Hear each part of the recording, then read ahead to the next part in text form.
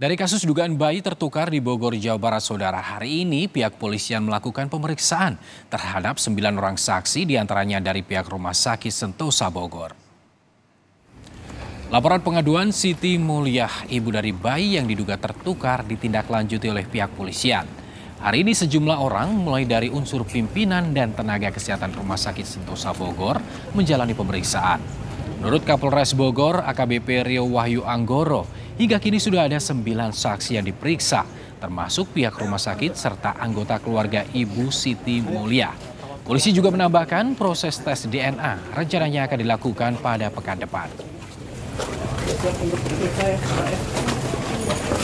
Tapi ada sembilan orang dari saksi yang dari pihak rumah sakit dan dari pihak keluarga.